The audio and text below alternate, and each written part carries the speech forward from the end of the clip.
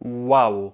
Udało mi się przebić 404 subskrypcje, więc to jest idealny moment, żeby co nieco powiedzieć na temat statusów HTTP, w tym tego najpopularniejszego, czyli 404. Więc może zobaczmy najpierw, jak to wygląda na innych stronach, na cudzych stronach.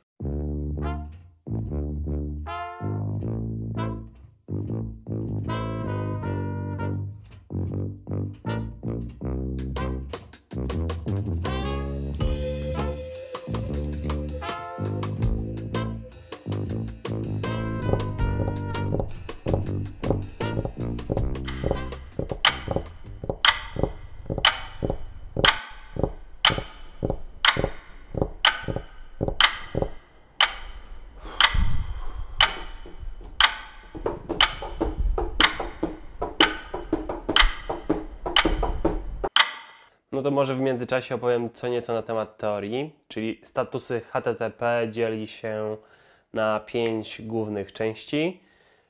Od setki to są statusy informacyjne, od dwusetki to są statusy związane z sukcesem, trzysetki to są przekierowania, czterysetki to są błędy po stronie klienta, czyli użytkownika, a pięćsetki to są błędy po stronie serwera. No nie oznacza to, że użytkownik zobaczy te wszystkie statusy naraz. Chyba powinniśmy się skupić przede wszystkim na statusach, które zaczynają się od cyfry 400 i od cyfry 500, ponieważ to są statusy, które komunikują różnego typu błędy, problemy, erory. A status 404 jest najpopularniejszym chyba ze wszystkich statusów. Co oznacza w ogóle status 404? Status 404 jest wyświetlany przede wszystkim wtedy, gdy użytkownik wejdzie na jakiś link, który już nie jest aktywny, który w ogóle nie istniał.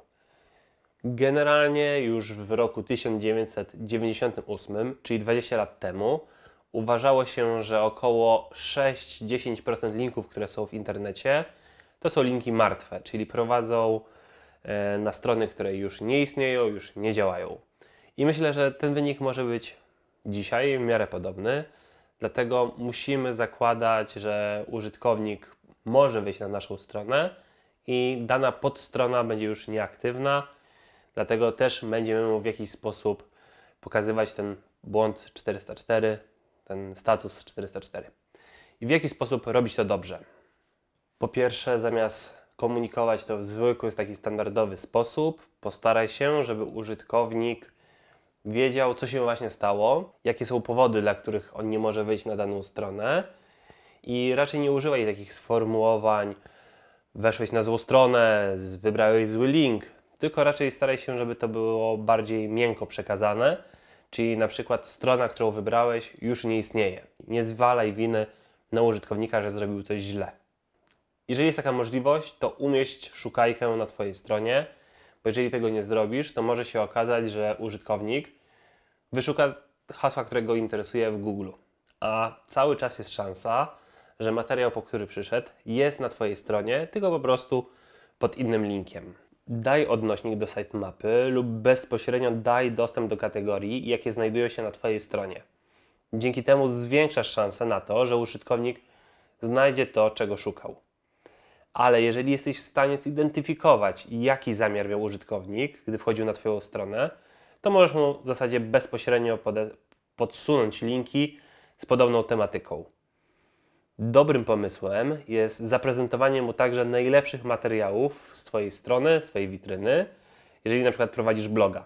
I jeszcze jedna bardzo ważna rzecz, przeglądaj logi, staraj się wyłapywać, dlaczego różnego typu problemy i statusy od 400 i 500 występują na Twojej stronie, ale dodatkowo też możesz dać na stronie przycisk, który jest, e, odsyła do formularza, gdzie użytkownik może sam poinformować się o błędzie, o okolicznościach, co w przyszłości może wyeliminować problemy z Twojej strony internetowej. Ok, to jak już mamy mniej więcej te rzeczy formalne, użytkowe, to dopiero teraz zastanówmy się, jak tak naprawdę powinna wyglądać ta strona od strony graficznej, żeby to było piękne, ładne, przejrzyste.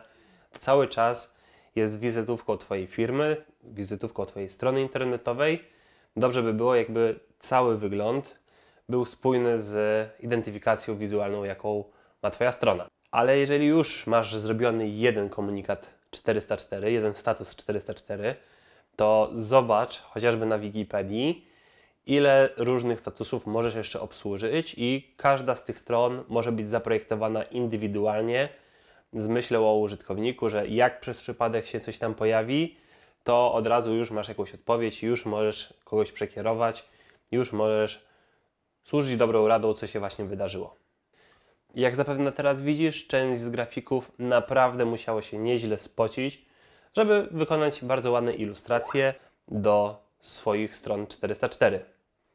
Ale tak jak mówiłem, no, od strony tej użytkowej nie do końca te projekty są dobre. Postaraj się, jeżeli Ty będziesz projektował swoją stronę internetową i będziesz projektował komunikat stat o statusie 404, to żeby nie tylko brać przykład z tych ładnych obrazków, ale pomyśleć też o funkcjonalnościach. A na dzisiaj to już wszystko. Pozdrawiam, Paweł Max Słabiak.